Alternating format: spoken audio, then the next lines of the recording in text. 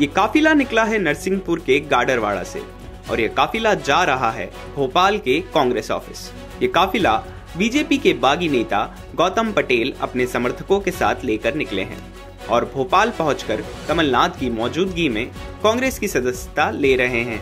इस दौरान गौतम पटेल ने बीजेपी को पानी पी पी कर कोसा और दावा किया कि इस बार गाडरवाड़ा से बीजेपी प्रत्याशी राव उदय प्रताप सिंह बुरी तरह से हारेंगे। गाड़ावाड़ा की आवाज़ बन के आए हूँ माननी को विश्वास दिलाता हूँ कि प्रदेश में सबसे ज़्यादा मतों से जीतने वाले सांसद राव उदय प्रताप सिंह जी गाड़ावाड़ा से प्रत्याशी हैं और सभी कार्यकर्ता आज इस विश्वास के साथ लौटेंगे कि मध्य प्रदेश में अगर सबसे ज़्यादा मतों से हारने वाली कोई सीट होगी तो गाड़ावाड़ा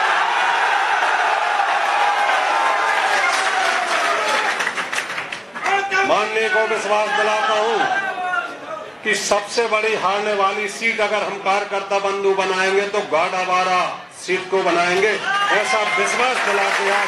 आपको बता दें कि बीजेपी ने सांसद राव उदय प्रताप सिंह को गाडरवाड़ा से अपना उम्मीदवार बनाया है। हालाँकि यहाँ से गौतम पटेल टिकट की दावेदारी कर रहे थे, लेकिन जब से उनका टिकट कटा, तभी से वो नाराज़ चल रहे थे। फ़िलहाल कांग्रेस ने गाडरवाड़ा से अभी टिकट होल्ड पर रखा है। माना जा रहा है कि गौतम पटेल को कांग्रेस टिकट दे सकती है। नरसिंहपुर से अनुज ममार की रिपोर्ट, एमपी तक।